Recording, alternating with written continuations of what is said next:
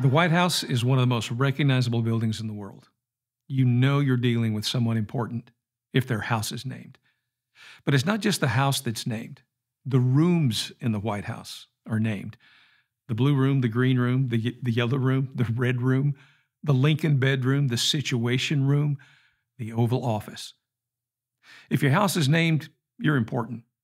But if the rooms in your house are named, you must be really important. And it's not just the rooms that are named, the furniture. This is a picture of the Resolute desk. It sits in the Oval Office and has been used by several presidents.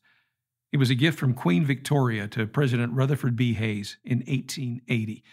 It was built from the timbers of a British ship that got stuck in the Arctic ice and abandoned in 1854. How important must you be if your house, the rooms in your house, and the furniture in the rooms of your house are all named?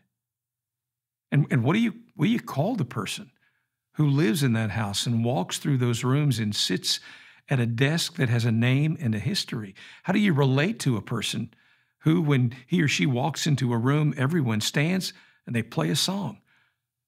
Well, the answer to that question depends on your relationship to that person. Most of us, we'd call that the person who sits behind that desk Mr. or Madam President. Now, take a look at this picture. This is one of the most memorable images in presidential history.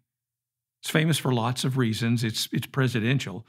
It features a president who, not long after, was assassinated.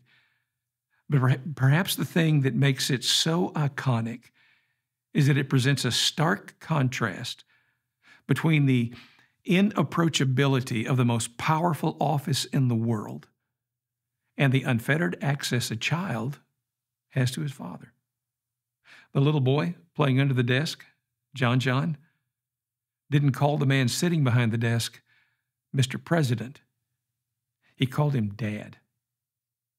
So, what do you call the most powerful being in the universe? Jesus said, You call him Father. Whatever else is going on in your life right now, whatever else is going on in the world, no matter how hard or hopeless life seems, you are welcome to walk right into God's office. No appointment necessary. You are not an intrusion. You're His child. Not a sermon, just a thought.